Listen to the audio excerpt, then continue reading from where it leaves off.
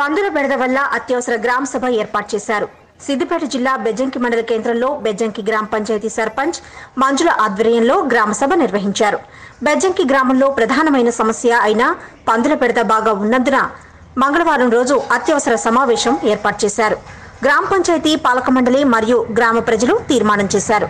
వచ్చే మంగళవారం నుండి గ్రామంలో పందులు ఉండరాదని తీర్మానం చేశారు. ఈ కార్యక్రమంలో MPP Lingala Nirmala Laxman MPTC Sharada MPDO Oblesh EOPR D Srinivas ఉప సర్పంచ్ బండి వేణు వార్డు సభ్యులు కార్యదర్శి గ్రామ ప్రజలు తదితరులు పాల్గొన్నారు.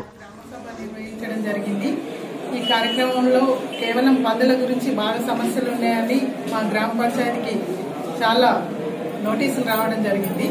అందువలన మేము చర్య తీసుకోవడానికి గ్రామ సభ ఏర్పాటు చేయడం జరిగింది. ఈ గ్రామ సభకు ఎంపీడీఓ గారు ఈఓపీఆర్డి గారు ఎంపీపీ గారు ఎంపీటీసీ గారు అందరూ వచ్చి తీర్మానం గురించి గ్రామ ప్రజలు అందరము తీర్మానం చేయడం జరిగింది.